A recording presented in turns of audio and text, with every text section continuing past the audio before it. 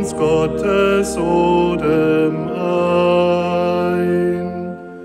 Komm, tröste dir die Herzen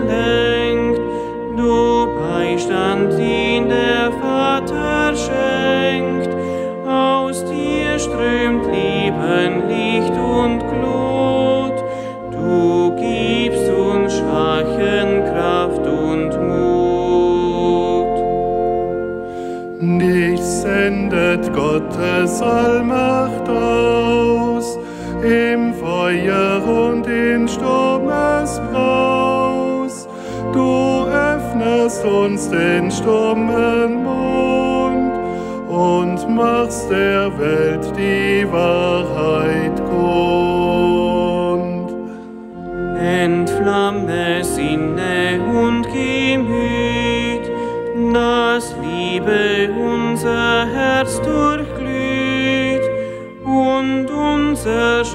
schwaches Fleisch und Blut in deiner Kraft das Gute tut.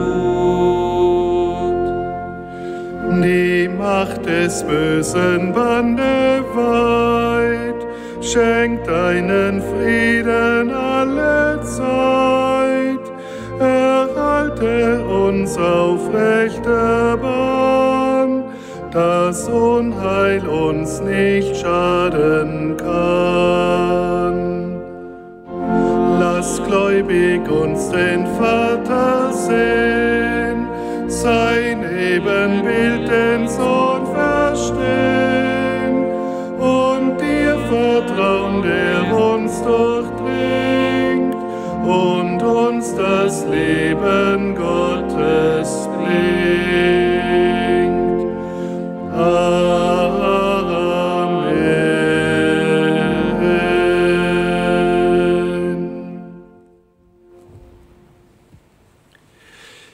Namen des Vaters und des Sohnes und des Heiligen Geistes. Amen. Die Gnade unseres Herrn Jesus Christus, die Liebe Gottes des Vaters und die Gemeinschaft des Heiligen Geistes sei mit euch. Und mit deinem Geist. So wollen wir heute Abend miteinander so um diesen Heiligen Geist flehen. Und dieser uralte Pfingsthymnus, Veni Creator Spiritus, ja, er möge wirklich, dieser Heilige Geist, er möge wirklich unsere Herzen alle berühren. Und wir brauchen ihn, diese Kraft von oben. Wir brauchen diese Erleuchtung des Heiligen Geistes. Und um das wollen wir heute Abend, wie in der Osternacht auch, wie in der heiligen Nacht auch, in dieser Nachtwache, Vigilia heißt Nachtwache, wollen wir uns mit der Gottesmutter vereint und den Aposteln um die Herabkunft des Heiligen Geistes flehen. Und wir begrüßen im Kyrie den Auferstandenen in unserer Mitte.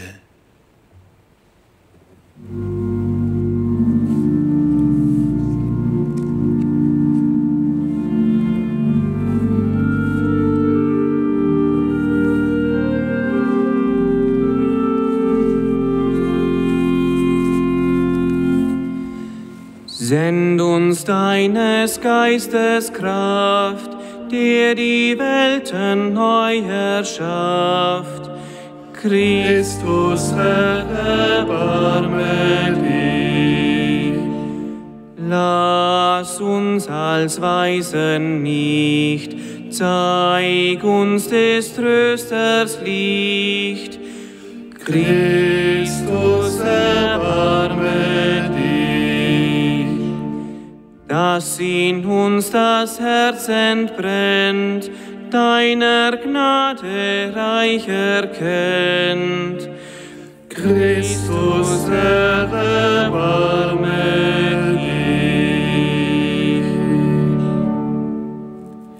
Der allmächtige, barmherzige Gott erbarme sich unser. Er lasse uns die Sünden nach und führe uns zum ewigen Leben. Amen. Wie in der Osternacht auch hat diese Vigilfeier eine erweiterte Zahl der Lesungen. So kommt nach den Lesungen und der Epistel kommt der, das Gloria, das Tagesgebet und der Ruf vor dem Evangelium dann. Setzt euch zu den Lesungen.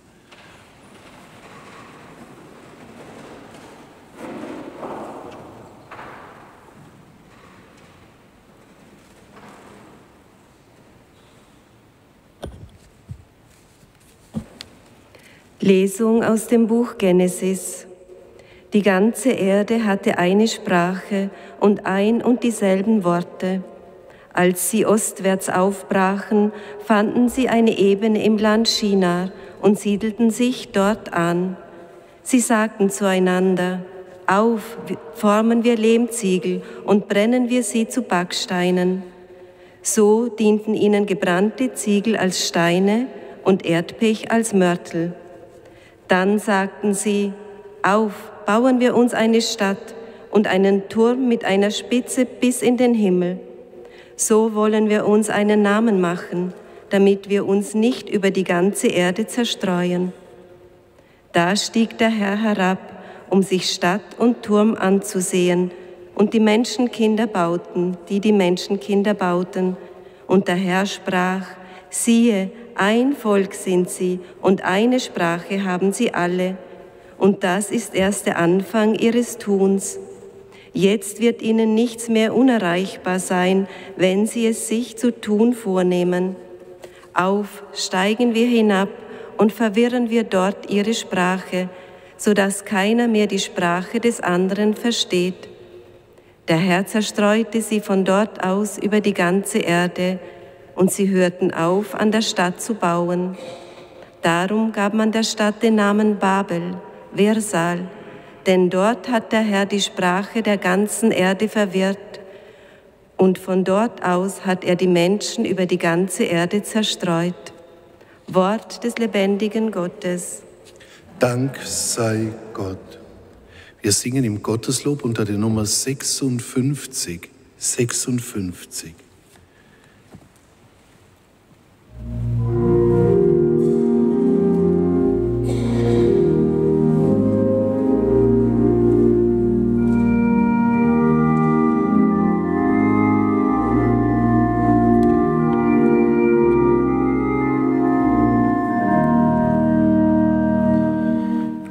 Freut euch, wir sind Gottes Volk erwählt durch seine Gnade.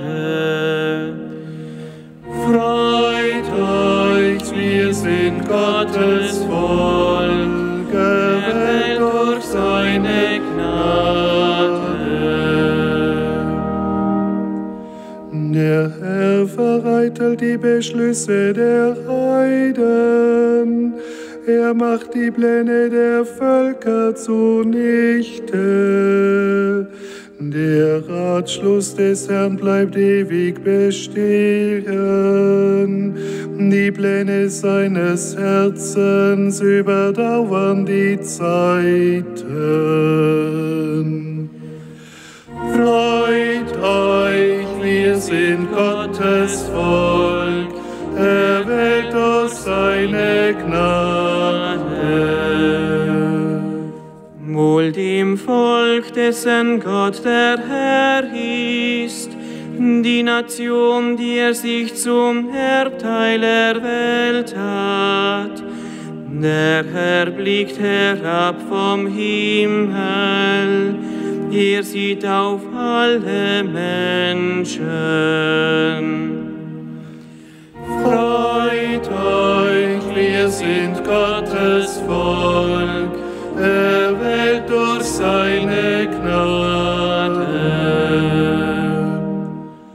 Von seinem Thron sieht, schaut er nieder auf all, alle Bewohner der Erde,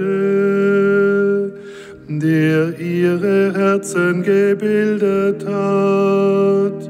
Er achtet auf all ihre Taten. Freut euch, wir sind Gottes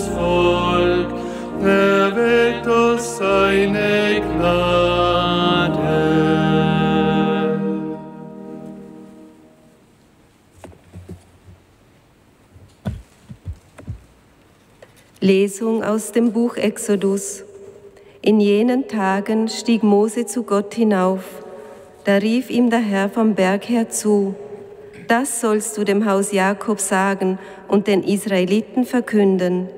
Ihr habt gesehen, was ich den Ägyptern angetan habe, wie ich euch auf Adlerflügeln getragen und zu mir gebracht habe.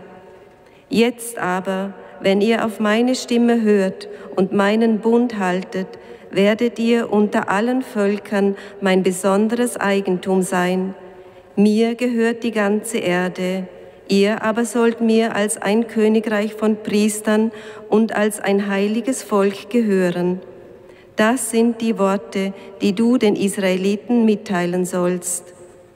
Mose ging und rief die Ältesten des Volkes zusammen.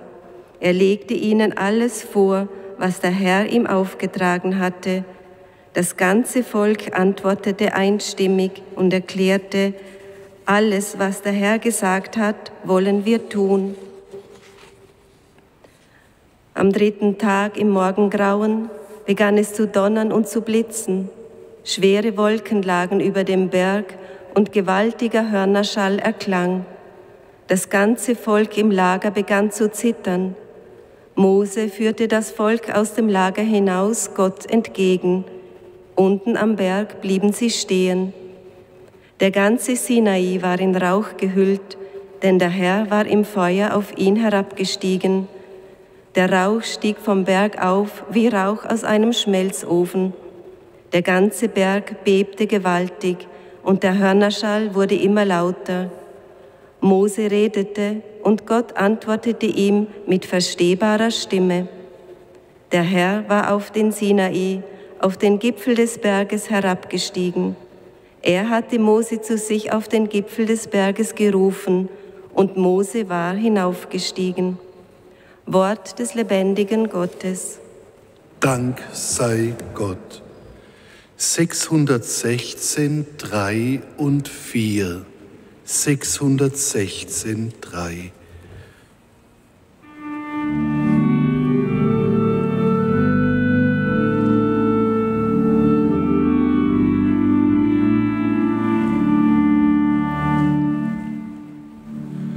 Der Name des Herrn sei gepriesen, von nun an bis in Ewigkeit. Der Name des Herrn sei gepriesen, von nun an bis in Ewigkeit. Gepriesen ist ein heiliger, herrlicher Name. Gerühmt und verherrlicht Gepriesen bist du im Tempel deiner heiligen Herrlichkeit. Gerühmt und verherrlicht in Ewigkeit. Gepriesen bist du, der auf Cherubim thront und in Tiefen schaut.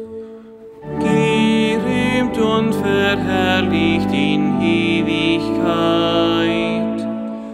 Gepriesen bist du auf dem Thron deiner Herrschaft. Gerühmt und verherrlicht in Ewigkeit. Gepriesen bist du am Gewölbe des Himmels. Gerühmt und verherrlicht Gepriesen bist du, Herr, Vater und Sohn und Heiliger Geist. Gerühmt und verherrlicht in Ewigkeit. Der Name des Herrn sei gepriesen, von nun an bis in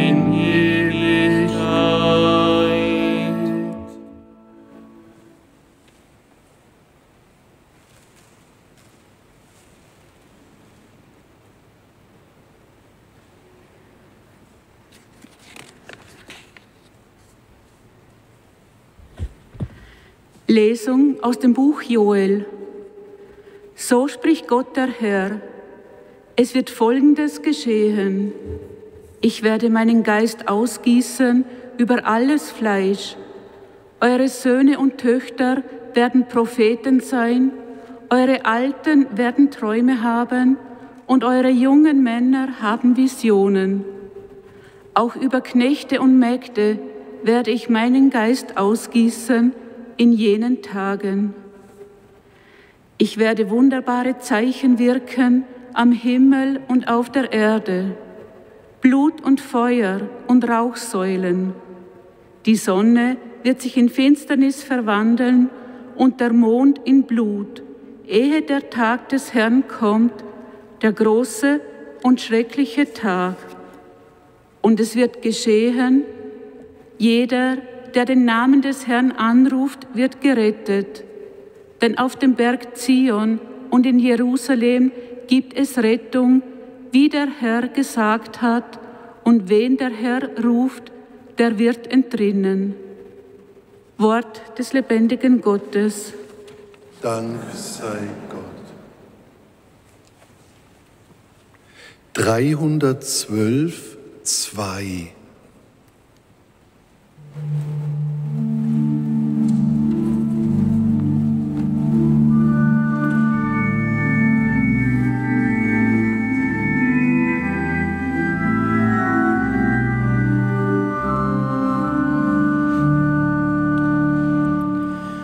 Sende aus deinen Geist, und das Antlitz der Erde wird neu.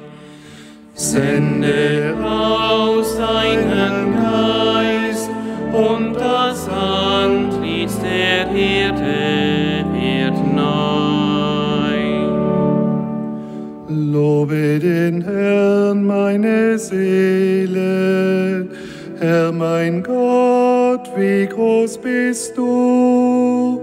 Du bist mit Hoheit und Pracht bekleidet. Du hüllst dich in Licht wie in ein Kleid. Du spannst den Himmel aus wie ein Zelt. Sende aus deinen Geist und das Antlitz der Erde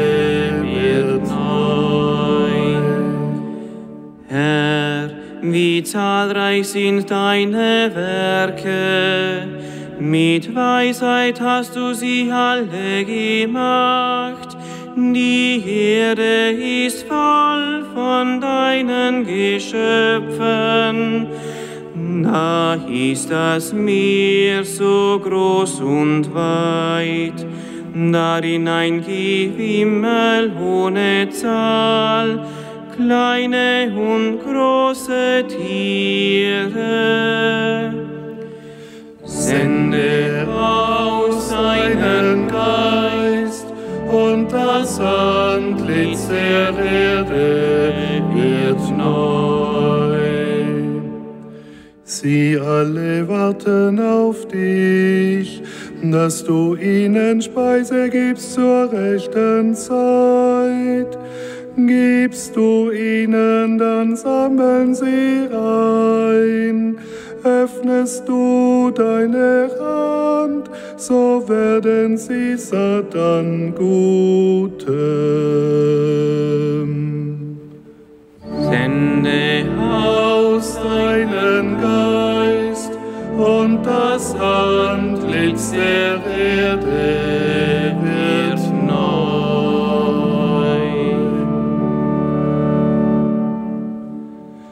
Gloria in excelsis Deo.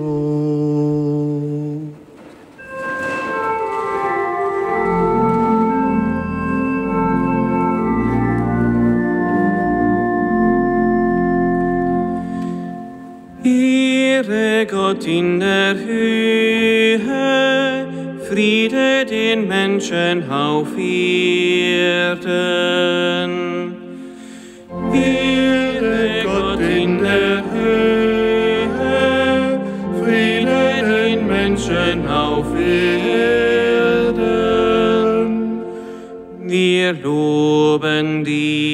Wir preisen dich, Ehre Gott in der Höhe. Wir bieten an und rühmen dich, Friede den Menschen auf Erden. Herr Jesus Christus, Gottes Sohn,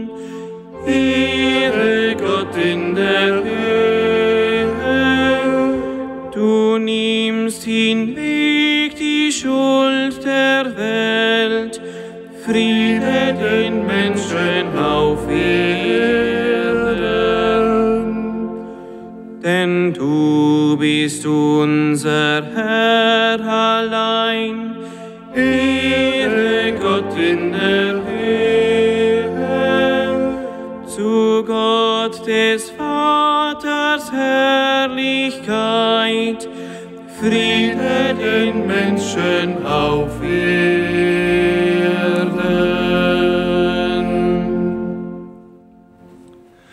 Lasset uns beten. Gott unser Herr, du hast das österliche Geheimnis im Geschehen des Pfingsttages vollendet und Menschen aus allen Völkern das Heil geoffenbart.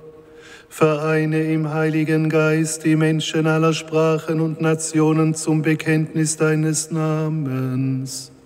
Darum bitten wir durch Jesus Christus, deinen Sohn, unseren Herrn und Gott, der in der Reinheit des Heiligen Geistes mit dir, Vater, lebt und herrscht in alle Ewigkeit. Amen. Wie in der Osternacht auch hören wir jetzt die Epistel, dann singen wir das Halleluja und begrüßen Jesus im Evangelium in unserer Mitte. Setzt euch zur Epistel. Lesung aus dem Brief des Apostels Paulus an die Gemeinde in Rom. Schwestern und Brüder, wir wissen, dass die gesamte Schöpfung bis zum heutigen Tag seufzt und in Geburtswehen liegt. Aber nicht nur das, sondern auch wir, obwohl wir als Erstlingsgabe den Geist haben, auch wir seufzen in unserem Herzen und warten darauf, dass wir mit der Erlösung unseres Leibes als Söhne offenbar werden. Denn auf, denn auf Hoffnung hin sind wir gerettet. Hoffnung aber, die man schon erfüllt sieht, ist keine Hoffnung. Denn wie kann man auf etwas hoffen, das man sieht? Hoffen wir aber auf das, was wir nicht sehen, dann harren wir aus in Geduld. So nimmt sich auch der Geist unserer Schwachheit an, denn wir wissen nicht, was wir in rechter Weise beten sollen. Der Geist selber tritt jedoch für uns ein mit unaussprechlichen Seufzern. Der die Herzen erforscht, weiß, was die Absicht des Geistes ist, denn er tritt so, wie Gott es will, für die Heiligen ein. Wort des lebendigen Gottes. Dank sei Gott.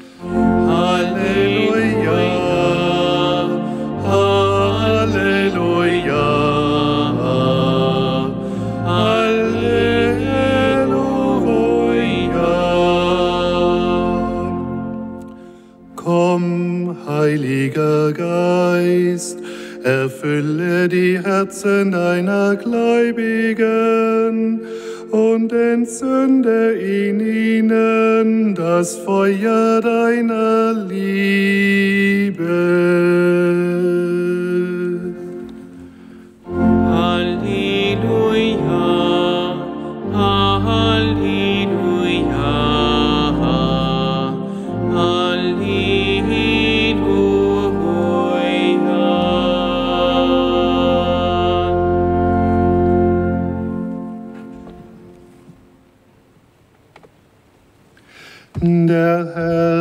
Sei mit euch. Aus dem heiligen Evangelium nach Johannes.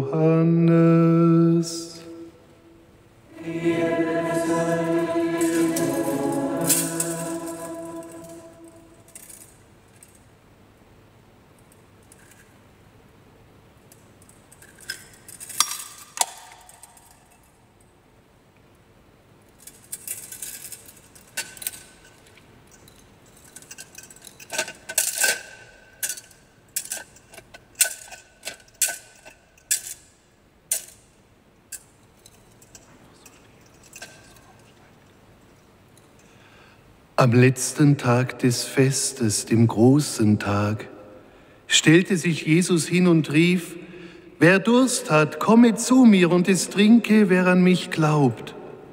Wie die Schrift sagt, aus seinem Inneren werden Ströme von lebendigem Wasser fließen.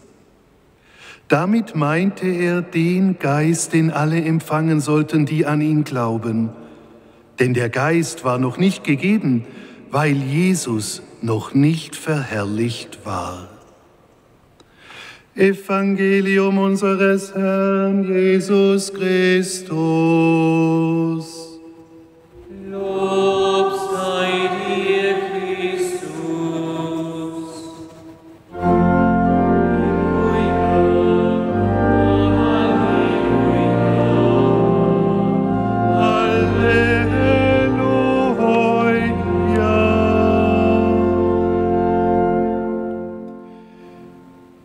Setzt euch jetzt, jetzt wollen wir einfach ein kurzes oder Orgelspiel haben, um einfach so jeder für sich so ganz kurz persönlich diesen Heiligen Geist zu bitten.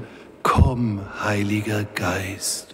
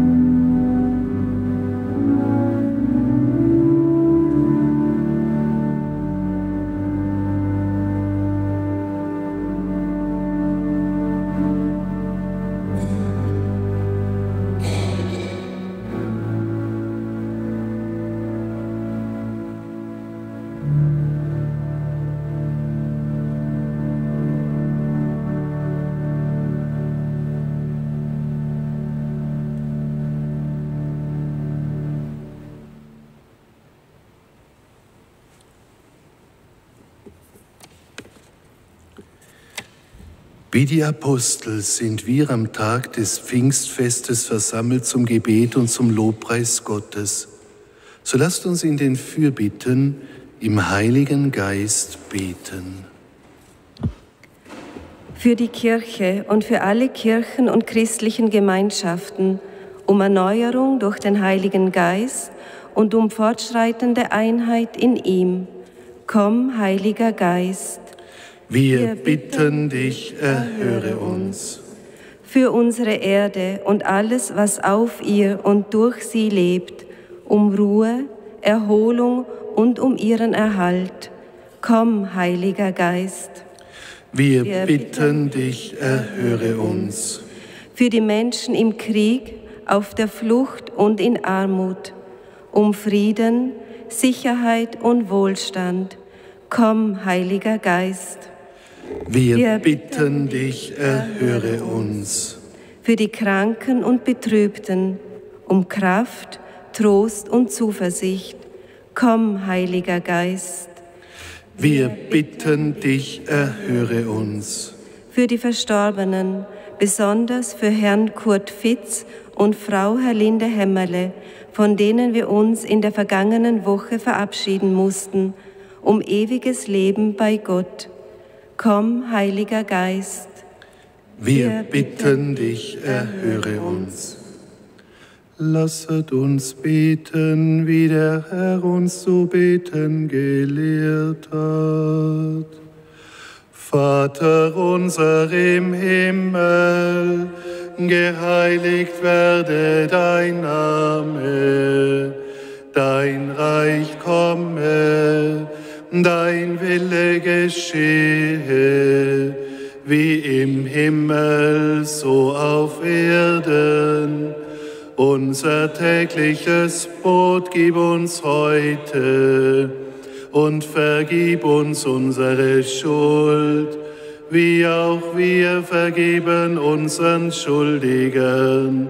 Und führe uns nicht in Versuchung, sondern erlöse uns von dem Bösen. Gott, Du hast die Herzen deiner Gläubigen durch die Erleuchtung des Heiligen Geistes gelehrt. Gib, dass wir in diesem Geist erkennen, was recht ist und alle Zeit seinen Trost und seine Hilfe erfahren. Darum bitten wir durch Christus unseren Herrn.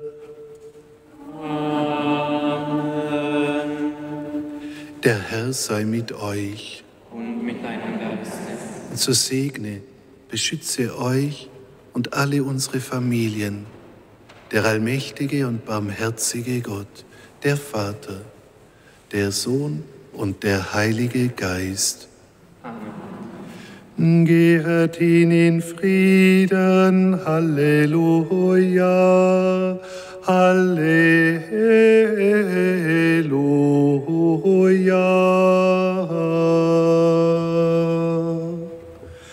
Dank sei Gott dem Herrn. Halleluja. Halleluja.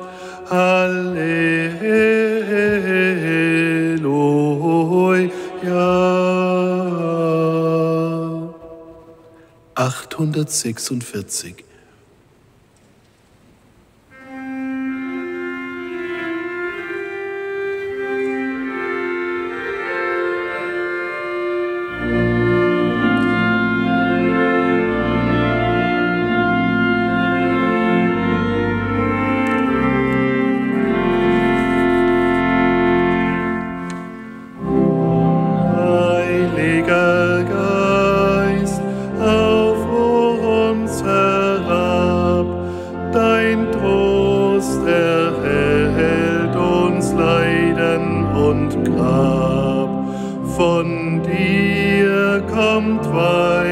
Zeit